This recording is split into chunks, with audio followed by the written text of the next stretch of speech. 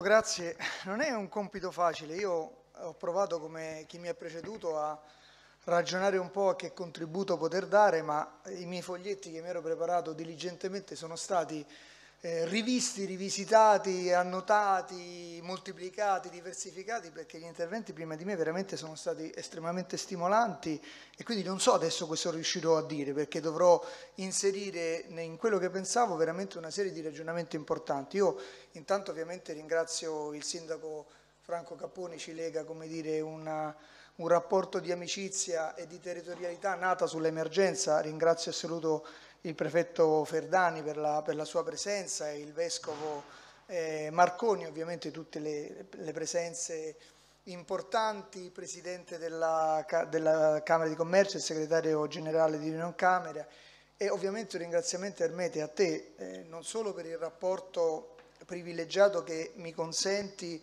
e mi hai consentito quando eri presidente della Commissione Ambiente della Camera, abbiamo lavorato in un momento difficile per questo territorio, a Fabio Renzi con il quale abbiamo fatto tanti ragionamenti. Grazie perché veramente c'è bisogno eh, di alzare lo sguardo, no? c'è bisogno di alzare la testa e noi come sistema di protezione civile eh, facciamo un po' fatica perché il Paese rincorre le emergenze e quindi facciamo grande fatica a fermarci un attimo a riflettere e io stesso faccio molta fatica alcune volte a far passare alcuni ragionamenti che vorrei passassero magari quando si parla di prevenzione, io scherzosamente anche in qualche intervista dico io riesco a parlare di prevenzione solo in emergenza, nel senso che se, se, se pongo un tema di prevenzione fuori da un contesto emergenziale non c'è assolutamente nessuno spazio. Quando si parla di emergenza allora con la scusa di dire quello che si poteva fare prima per cui non abbiamo fatto allora riesce a far passare qualche tema eh, come dire, eh, di prevenzione, di visione e quindi ragionamenti, spazi come quello che Simbolo fa da dieci anni consentono invece di alzare lo sguardo e di parlare della prevenzione del paese in senso più largo, ben al di là di quello che è il, il, il compito che il, il, sistema di protezione civile svolge. Allora partiamo, anche io parto un po' dal titolo, no? Eh, insomma chi, chi siamo? Ovviamente le, lo spaccato eh, anche di, di, di, informazioni, di dati che ci è stato fornito prima, la visione eh, più ampia che ci ha dato Sua Eccellenza il Vescovo, per me è fondamentale il tema del chi siamo, ma è fondamentale perché noi lo colleghiamo ad un altro come dire, termine per noi importante, è stato citato in qualche relazione, che è il tema della consapevolezza, perché il tema chi siamo lo leggo anche chi pensiamo di essere, perché alcune volte noi pensiamo di essere una cosa ma siamo una roba diversa ed emerge in maniera chiara da quei dati che fluttuano, che cambiano, perché quei dati andrebbero, come dire, io ho una formazione tecnica, seppur come dire datata, andrebbe messo tra parentesi la T, cioè variano nel tempo. Quindi noi dovremmo dire chi siamo in quell'istante, perché quello stesso intervistato che oggi ti dà una risposta, domani eh, compulsato in un contesto diverso ti potrebbe portare ad un dato completamente diverso. Allora il chi siamo, ovviamente io non sono in grado di dire chi siamo, però è, è fondamentale capire il punto di partenza e che consapevolezza abbiamo di noi stessi. Talvolta io combatto, no? Quasi si parla spesso di modelli, eccetera, ogni tanto prendiamo il modello che va bene per qualche altra comunità, per qualche altra impostazione e cerchiamo di farcelo calare su di noi, mentre invece questo modello non funziona perché il modello è anche frutto di chi siamo e da dove partiamo. E allora queste cose che magari funzionano in tanti contesti da noi poi hanno necessità invece di essere come dire digeriti, c'è questo incontro tra lo sviluppo dal basso e il posizionamento dall'alto. Allora, più che su chi siamo, sul quale, ripeto, più, in maniera più esatta di me, ci possiamo dare dei dati, io dal mio osservatorio posso provare a vedere come siamo.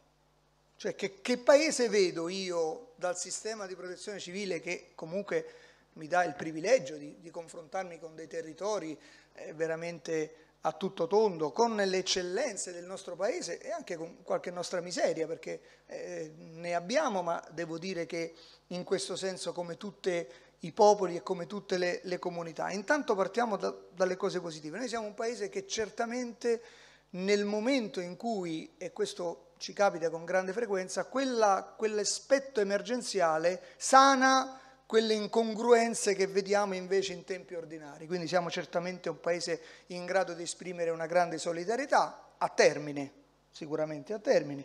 Abbiamo una grande disponibilità, abbiamo una grande generosità, abbiamo diversi modi di eccellenze. Io ho, ripeto, la fortuna di girare veramente posti ameni, lontani da, da e, e, in ogni posto non, non, non, posso dire di non trovare un'eccellenza che può essere dalla, dal, dall'aspetto culturale all'aspetto gastronomico, al racconto. Non, non, c'è un posto dove un santo non si sia fermato a fare non so quale miracolo e ogni posto ha una sua connotazione specifica.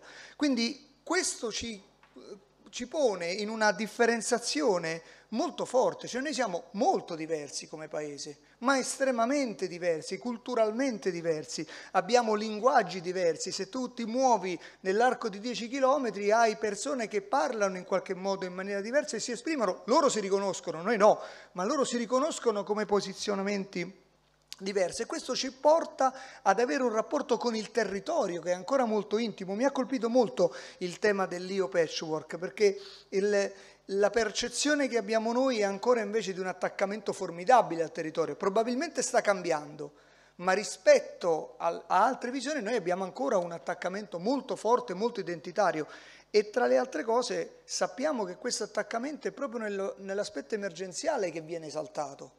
Quando accade qualche cosa, tutto ciò, no? la storia dei casali in queste terre, no? dove magari le seconde famiglie avranno mai lasciato, eccetera, nel momento in cui arriva il terremoto e e butta giù tutto, tu riscopri che quello era un pezzo della tua famiglia, era un pezzo della tua identità, lo rivuoi e non capisci come sei stato disattento a quella, a quella comunicazione ancestrale che ti portava a quel territorio. E quindi improvvisamente, così come accade spesso, l'emergenza ti riporta ad esaltare le cose positive e qualche volta ovviamente anche le cose negative. Ora, questa frammentazione però cosa ha portato nella nostra organizzazione? Ha portato un'organizzazione amministrativa, ma io direi anche sociale rispetto ai dati che abbiamo. Io vorrei usare due termini, molto frazionata, ma con due termini in maniera eh, da poter seguire l'andamento e il ragionamento su questi due termini. Un'organizzazione che definirei multilivello e multidisciplinare. Noi siamo un'organizzazione multilivello e multidisciplinare. Adesso suona anche molto bene, no? Figo, una cosa multilivello e multidisciplinare è una roba moderna, sembra una cosa positiva, però se poi questi livelli noi non li facciamo parlare insieme, se questa complessità di discipline noi non le mettiamo insieme, eccolo lì che un tema eh, che può essere di eh, connotazione eh, di una struttura sociale o di un'organizzazione improvvisamente diventa debolissima. E quindi mentre nel sistema di protezione civile, e vorrei partire da questo perché ovviamente è la visione che ho in maniera più chiara, questo problema del multilivello e del multidisciplinare è stato necessariamente affrontato in termini operativi, perché quando tu hai un'emergenza, quella necessità di mettersi insieme è diventata storia nel nostro Paese no? il 1980, la, la, spinta della comunicazione, il presidente Pertini che è andato sul posto a dire ma non è possibile qua ognuno faccia come ci gli pare, c'è bisogno come dire di unire la forza. No? Allora nel sistema di protezione civile, nella parte emergenziale del sistema, questa roba in qualche modo nel tempo, partendo dalle esperienze negative, si è risolto. Quindi improvvisamente il Paese nel momento in cui c'è un dramma più vicino al tema di protezione civile, poi farei un breve, una breve riflessione sulla parte del Covid che ha, che, ha, che ha inserito un paradigma nuovo, improvvisamente il Paese riesce a trovare quell'unità del multilivello e quindi scatta quel tema bellissimo, per me democratico, nell'idea di, di, Giuseppe Zamberletti della sussidiarietà, no? cioè l'ente amministrativo più vicino al territorio non ce la fa, il comune, allora interviene l'ente più ampio, l'ente provinciale, poi la, la, parte regionale, fino a che a un certo punto interviene lo Stato centrale, quindi questo tema di sussidiarietà che in emergenza oggettivamente funziona. Poi, finita l'emergenza, può non funzionare perché la sussidiarietà è un termine bellissimo, ma poi c'è l'applicazione, no? È stato detto tra quello che scriviamo e poi come si applica c'è un bel perché la sussidiarietà che è un tema assolutamente bello, fantastico, di solidarietà, di spirito di coesione, eh, se viene mal interpretato a un certo punto dice beh ma perché ci devo pensare io se c'è uno che viene eh, eh, mi dà una mano e ci pensa lui, fino ad arrivare alle storture del passato in cui il livello nazionale, portando strumenti straordinari e portando soldi, andava sostanzialmente a impattare anche sull'ordinarietà. Questo è quello che è avvenuto anche nel momento in cui lo strumento performante diventa uno strumento poi per accelerare processi, processi ordinari. Ora, il sistema in emergenza è questo, è questa camera di compensazione, io la vorrei chiamare così, perché poi ne sento tante, no? ogni tanto esce fuori un articolo, non riusciamo a fare questa cosa, chiamate l'esercito e la protezione civile, come se arrivasse no? questo, questa non, non, si sa entità a fare cose. Ecco, in realtà noi siamo una grande camera di compensazione, cioè noi nel momento in cui interveniamo, interveniamo per cercare di dare una solidità a quella forma di multidisciplinarità e multilivello. Perché, perché parto da questo? Ma parto da questo perché passando al passaggio successivo, no? cosa possiamo fare noi per, per il Paese no? e quindi quale esperienze noi possiamo portare, dov- dovremmo cercare di capire come trasformare questa capacità che noi abbiamo nella parte straordinaria anche nell'ordinarietà. Questo sarebbe il tema poi reale che ci consente poi di fare tutte le cose che stiamo dicendo, no? la, la, la parte del PNRR, la parte dei fondi, è un tema l'opportunità, però c'è una modalità di azione, come noi andiamo a finalizzare questa modalità di azione. E allora su questo io vi vorrei portare un esempio pratico. Si parla in questi giorni di siccità. Questi sono gli enti che si occupano di acqua in ordinarietà. Vabbè, Ministero della Transizione Ecologica, ci mancherebbe con i distretti, eccetera. Ministero delle Infrastrutture e delle Mobilità Sostenibili, le infrastrutture importanti sulla parte... Ministero delle Politiche Agricole, Alimentari e Forestali, l'acqua è intesa come parte eh, alimentare e zootecnica, il Ministero dello Sviluppo Economico, quindi tutto ciò che è amministrazione relativamente alle industrie, le imprese, il Ministero dell'Economia e Finanze, vabbè, quello c'è sempre perché mm, ovviamente la nostra, come dire, capacità di essere presenti. Le regioni, questo è solo il bacino del Po, quindi tutte le regioni del nord. Le autorità di bacino distretto Padano, autorità di bacino distretto dell'Alpe orientale, l'Agenzia interregionale per il fiume AIPO, Agenzia Italia Meteo, gli enti di ricerca per i dati, Istat, ISPRA, Istituto Superiore di Sanità, il CNR, il CREA, i portatori di interessi, le autorità di regolazione per l'energia e reti ambienti, Utilitalia, Terna e Asso Idrolè, mi fermo.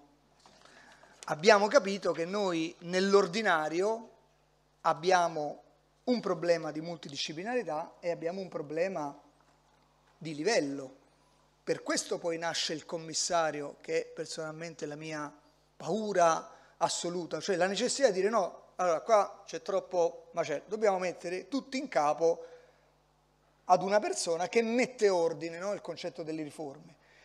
Allora, questo tema dell'unione dei ragionamenti in emergenza può avere un senso. Il tema di governare in maniera centrale alcuni processi che sono processi necessariamente lunghi, che sono nei processi necessariamente che hanno bisogno di una visione, secondo me andiamo fuori strada. Cioè non possiamo immaginare che noi governiamo ancora una volta con l'errore del passato l'ordinario, perché questo si tratta dell'ordinario, con uno strumento che è invece uno strumento straordinario, cioè il potere commissariale di per sé è un potere straordinario. Allora, qual è la prospettiva sul quale noi dovremmo, credo, lavorare nelle prossime, nelle prossime settimane, nei prossimi mesi? E prendere atto che ci sono degli eventi, questo è uno, ho citato questo, ma ne potrei citare, come dire, tanti altri, anche il PNRR in qualche modo va su questa linea, ma su questo dico una parola dopo. Noi abbiamo delle situazioni, su queste situazioni certamente c'è un aspetto emergenziale, certamente c'è un aspetto sul quale bisogna operare, come dire, in via d'urgenza. Anche sul tema della siccità certamente c'è un aspetto emergenziale, non a caso lunedì è stato dichiarato lo stato di emergenza su cinque regioni, il bacino del Po, il bacino degli Aeroprientali, stiamo vedendo altre situazioni ma questo attiene a quello che possiamo fare nell'immediato.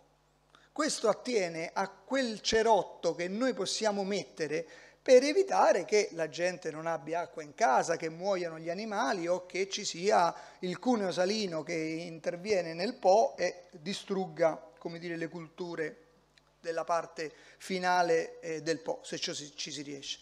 E questo è un tema.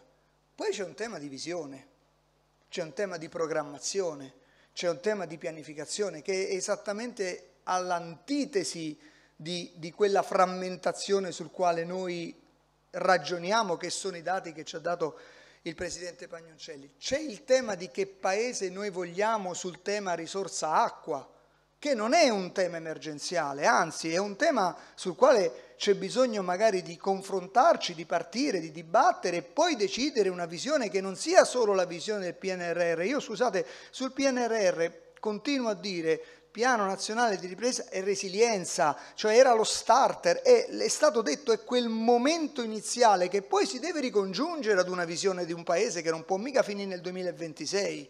Su questa roba noi dobbiamo avere visione molto più lunga di quella del PNRR. Poi il PNRR può essere lo spunto, può essere come dire, anzi è opportuno che ci sia, ma nell'ambito di un percorso che ha più ampia visione è stata data la possibilità con uno spunto economico di iniziare quel percorso di visione. Se no noi lavoriamo per progetti, quindi finisce nel 2026, dopodiché nel 2027 entra il finanziamento ordinario e arrivederci e grazie e noi non continuiamo quel percorso di visione. Credo che su questo noi invece dobbiamo avere le idee molto più chiare, quindi cercare degli strumenti che in qualche modo mettano insieme quella capacità che noi abbiamo di coordinamento in emergenza, ma metterlo insieme nell'ordinario. E quali sono, è stato detto anche questo, quali sono quegli elementi sui quali noi dovremmo lavorare per consentire questa integrazione multidisciplinare e multilivello? Ce ne sarebbero tanti. Io ne individuerei due o tre che sono per me fondamentali nell'economia dell'organizzazione di un paese. Il primo è stato dato, detto anche dall'onorevole Picerno in maniera ancora più ampia.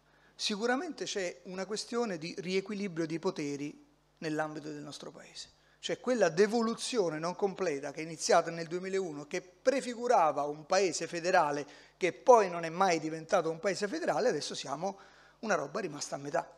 Cioè noi non siamo un paese completamente centrale, non siamo un paese completamente federale e il Covid ce l'ha dimostrato. Perché anche lì non è che basta un decreto legge o un commissario o un Batman che trovi e trovi il problema per accentrare le competenze della sanità e della salute. Tu devi avere l'accentramento delle competenze, ma poi devi avere anche le leve. Perché no, tu fai le norme, ma le norme poi non danno nessun seguito. Quindi l'accentramento della competenza deve, essere, deve corrispondere alla conoscenza di ciò che accade sul territorio. Se tu per vent'anni hai fatto una politica territoriale sulla sanità che è diversificata sul territorio, 20 eh, sanità regionali, 20 strutture diverse, 20 modalità di offrire servizio diverso, poi non è che nomini il commissario e quello automaticamente riesce a portarti il servizio eh, piemontese, lombardo, laziale, calabrese, siciliano e sardo allo stesso livello con le stesse procedure, perché sono 20 anni che hai abdicato a quell'omogeneizzazione lì. Quindi il primo punto è riequilibrare questi poteri territoriali e centrali. Secondo aspetto che io vedo molto importante è un rapporto sano, chiaro tra il mondo pubblico e il mondo privato. Questo è un tema che rimane sempre sullo sfondo, guardate, è un tema che noi abbiamo costantemente in emergenza e lo ritroviamo anche nell'ambito ordinario questo fatto che noi ancora col mondo privato, sì vabbè però poi c'è il mondo privato, c'è l'interesse e quindi il mondo pubblico attenzione perché questo è un equilibrio che noi dobbiamo andare a trovare, una forma di ragionamento diverso, perché ci troviamo costantemente in questo meccanismo. Io ricordo, come dire, eh, le discussioni con Giuseppe Zamberletti, io non faccio mistero, proprio nelle Marche venne con Giuseppe Zamberletti in una giornata fantastica, quel vecchietto lo portammo in, tutto, in giro per tutta l'area del sisma. Nel 2016, io a sera ero distrutto, lui pimpava come una cosa eh, eccezionale. E lui raccontava, diceva, quando io ho gestito nel 1980, io chiamai gli ingegneri della SIP e vennero 100 ingegneri della SIP e più 100 ingegneri della Fiat e mi aiutarono a fare questo meccanismo. E io cercai di dirgli, sì Presidente, d'accordo, però la SIP non è più la SIP, non è neanche più pubblica. Tra le altre cose lui poteva prendere ingegneri della SIP che era comunque telecomunicazioni e fargli fare la parte eh, infrastrutturale, qua tu devi prendere quello che è in grado, oggi viviamo una specializzazione diversa ma questo per dire che il mondo tra il pubblico e il privato è un mondo che va equilibrato in ordinario.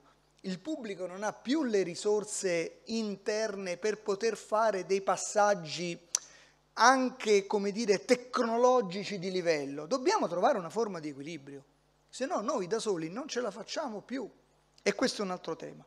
Si parla di semplificazione, altro tema che vorrei evidenziare. Il tema della semplificazione, guardate, è un tema ricorrente, ne abbiamo parlato tante volte anche con Ermete durante gli atti normativi. Si parte con un processo di semplificazione, magari con un decreto d'urgenza, poi si fanno una serie di passaggi parlamentari, eccetera, ci viene la paura come comunità, la politica è espressione della comunità, improvvisamente quella semplificazione diventa una complicazione.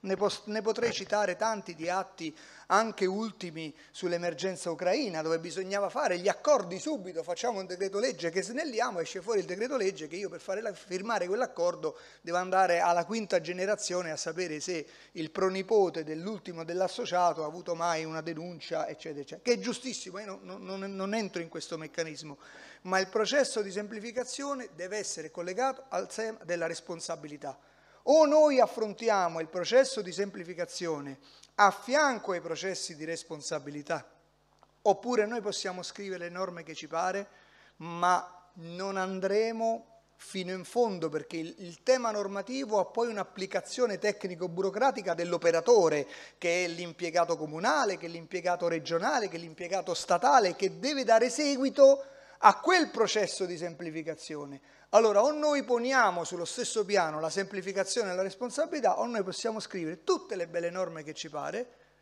ma noi queste norme non le vedremo mai applicare.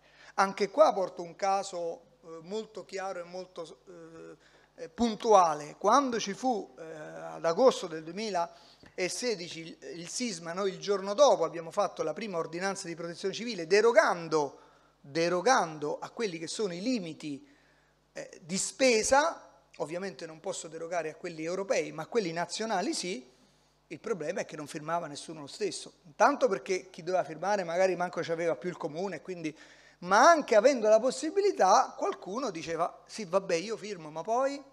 Quindi il tema della semplificazione, se lo vogliamo affrontare seriamente e fino in fondo, deve essere affiancato al tema della responsabilità.